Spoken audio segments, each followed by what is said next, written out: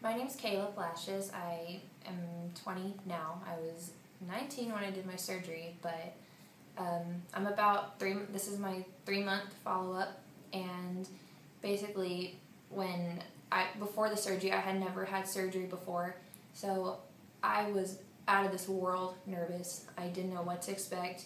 I didn't know what to think, what to do, but I mean, all I remember was like looking through my notes and going through everything, how I'm gonna feel. And my sister had surgery, so I was asking her a, like a ton of questions.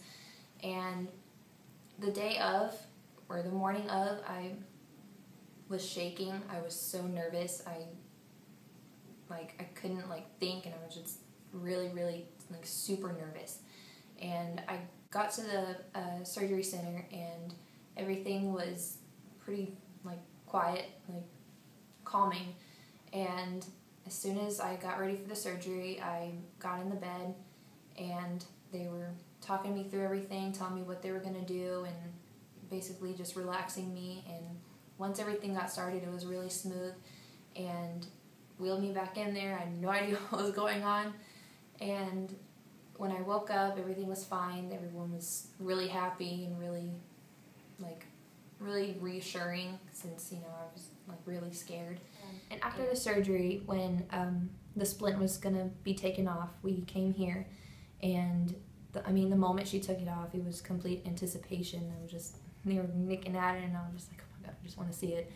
And I mean, the moment it came off, I just stared at myself in the mirror, just couldn't believe how she could do that, like how something like that's so possible.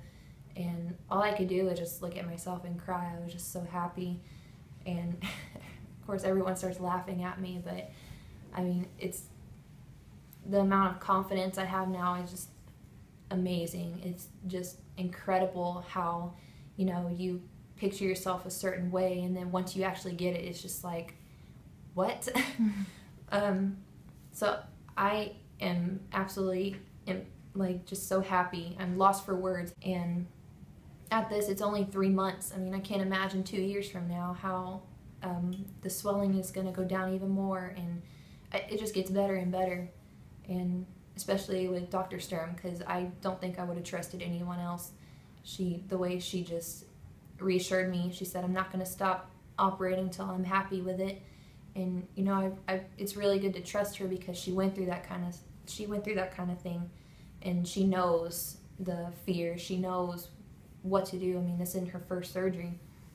And I'm just I'm really happy with the results and how everything turned out and I'm really excited to see what it's gonna do two years from now, one year from now, I mean heck a month from now. And just I'm so happy with it and it's only gonna get better from here.